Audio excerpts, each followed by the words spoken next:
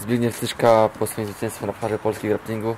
Cześć Zbyszek. Witam Was serdecznie. No Zbyszek, zdobyłeś dzisiaj złoto. Czy możesz nam opowiedzieć Twoją drogę po złoty medal? W pierwszej walce spotkałem się z zawodnikiem Monique Goldsteam. E, Niestety nie pamiętam jego nazwiska. Udało mi się wygrać e, taktarowem. W drugiej walce spotkałem po raz kolejny Marcina Majerskiego, którego jeszcze raz serdecznie pozdrawiam. Ręka jest sprawna. E, Udało mi się zaskoczyć go balachu na kolano. Przepraszam, że Ci przerwę, ale tak Marcina, tak y, można powiedzieć, że wjechałeś w niego tak na ostro jak pitbull w kurę. Czym to było spowodowane? Bo naprawdę bardzo szybko, agresywnie podszedłeś do tej walki. Walczyłem kiedyś z Marcinem w Kołbrzegu i próbowałem go dźwigać na nogi, nie wyszło. I myślałem, że to na niego nie działa.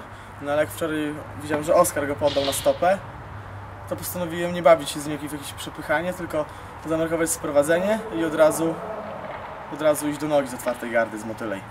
No i się udało. W czwartej walce miałem e, znowu Karola Dzienniczewskiego. Tym razem ja go obaliłem. I po jego próbach przetoczeń moich, moich obronach udało mi się zapać jego stopę i e, wykończyłem go taktarowem.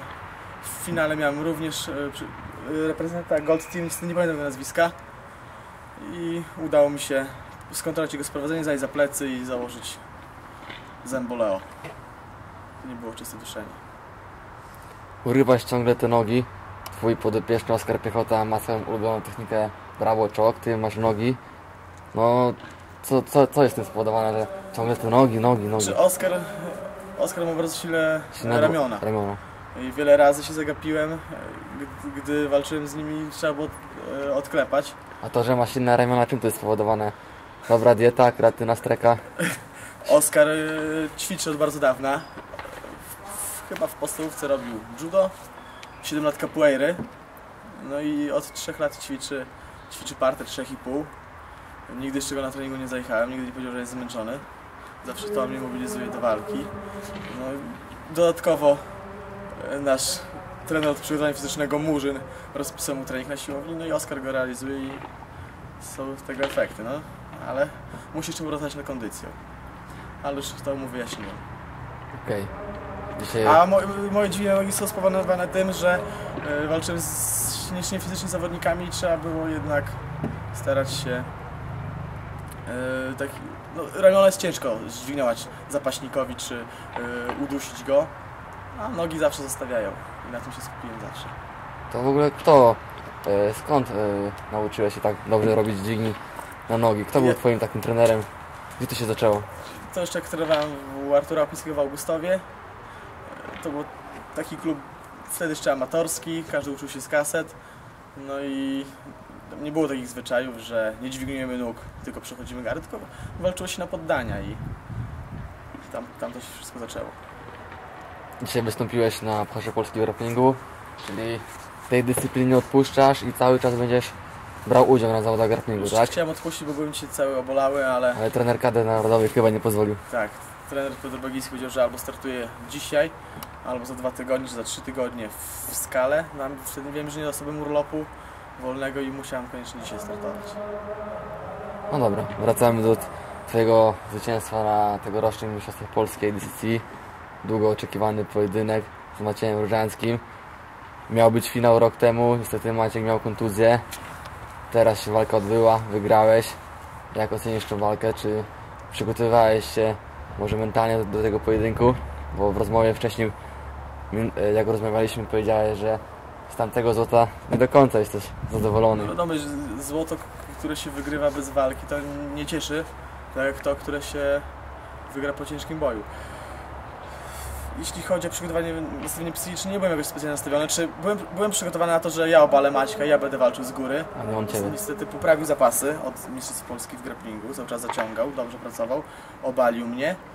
Skończyliśmy w zamkniętej gardzie. Nie ma, nie, nie ma opcji go z tej zamkniętej gardy ruszyć, musiałem tą gardę otworzyć. No i wkręciłem się do klucza na stopę. A wiedziałem, że będę to robił już wcześniej, że Maciek będzie przychodził gardy z góry, bo na grappling arenie pierwszej cały czas mi tak, tak przychodził, tak no, no, nogę wkładał w środek i przychodził to gardę. I na obozie u Przemasa właśnie była pokazana technika. Wkrętka, wkrętka za plecy albo na nogę z tej pozycji. I byłem nastawiony, że będę to z Maćkiem robił. Taktycznie Był byłeś przygotowany. przygotowany, tak? Tak. Twoi dychankowie Oskar Piechota i Łukasz Michalec pokazali się, pokazali się z dobrej strony. Jesteś zadowolony z występu swoich zawodników? Spodziewałem się, że tak da, tak uda walkę z Maćkiem. Liczyłem, że stawi mu opór. Zabrakło paliwa. Wiadomo są jakieś tłumaczenia, choroby, nie choroby, to wystartował, więc powinien być przygotowany. Zrehabilitował się w absoluto i zamknął kategorię z Łukaszem i oddał mu walkę, ponieważ rok temu Łukasz po losowaniu rzucił monetą, oddał Oskarowi walkę. No Łukasz bardzo ładnie zawalczył. Wygrał z mocnym Domkiem Michałowskim, mimo tego, że to jest inna kategoria wagowa. Że Tomek zawsze zrzucał, miał niedowagę, ale bardzo doświadczony zawodnik. Łukaszowi się udało go skończyć dwa razy w tych zawodach i bardzo się z, z tego cieszę. No, można tam jakoś Oskara usprawiedliwić, bo miał bardzo mocno, miał bardzo mocnego przeciwnika, jakim Sarona z top teamu, bardzo silny fizycznie zawodnik. No, wymęczył, wymęczył 2-0 po dogrywce, no i do Maćka wyszedł całkowicie e, wypompowany bez paliwa i jak to się skończyło każdy widział. No ale myślę, że jeszcze się odgryzie. Okej. E, Po kilku swoich walkach e, zakończyłeś słowem, tekstem Pawlo Popowicz. Czy możesz nam to... Czy możesz powiedzieć, co, co, co, co, co to oznacza? Zmieniłem troszeczkę styl walki, Czyli koksisz. jestem czystego łza. Mogę się podać testom antydopingowym. Ogólnie zmieniłem troszeczkę styl walki, st- staram się walczyć bardzo ciasno i Jak Maciej Polok. Troszeczkę bardziej staram się być fizycznym zawodnikiem. Nie zakładam, to na przykład przeście, prześciegary staram się robić się ciasno i udało mi się w to w dwóch pierwszych walkach. I na przykład też zmieniłem, nie duszę technicznie e, Mataleo, tylko łapię za twarz. Dalsze plany? Startujesz w Helsinkach, nie? Jak podkręcisz tempo treningowe? Chcę z, z, poprawić wytrzymałość na siłowni. No i zdecydowanie zapasy, bo walka z Maślem pokazała, że nie są one na najwyższym poziomie.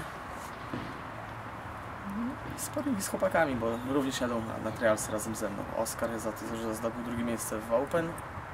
A ja, jako że już kupiłem wcześniej bilet do, do Turku, nie do Helsinek, to oddałem Łukaszowi swój przejazd. I Dobrze. E, No czy możesz coś więcej powiedzieć na ten temat? Rozmawiałeś ze mną jakiś czas temu jeszcze na zawodach i powiedziałeś o planowanym swoim, o swojej planowanej podróży do, do Stanów Zjednoczonych. Był u nas Rafael Chavez y, w lutym. Gościłem go przez tydzień i spytałem się, czy będzie można go odwiedzić y, tam w Miami. Pod Miami dokładnie. Zapraszam nas serdecznie. No jeśli się uda załatwić wizę, to bym chciał tam na miesiąc polecieć, potrenować na przełomie sierpnia, września. A to wszystko zależy od tego, czy dostanę wizę, bo jeszcze się nie starałem, nie mam do tego głowy dopiero po Finlandii. Pojadę do Warszawy i spróbuję dostać. Okej. Na koniec podziękowania jak zwykle. No, chciałem podziękować chłopakom z klubu, którzy, z którymi sparowałem. Standardowo treno- trenerowi od przygotowania fizycznemu, Rafałowi. Oraz sponsorom, których notuję na koszulce. I jednego, którego tu nie ma, w firmie Golden Play Bees, Piotrkowi Bożenkowi, który również wspiera gra, Grappling Arena. No i chciałbym na koniec y, przeprosić redaktora Stopao, który poczuł się urażony i kloca. y, Grzegorza. Grzegorza i Ambushi za moje zachowanie po, po walce finałowej, gdzie krzyknąłem na cały głos po zwycięstwie z Maćkiem. No to były emocje, nie miałem, nie miałem złych intencji, czasami na sobie nie panuję. Jeszcze raz przepraszam.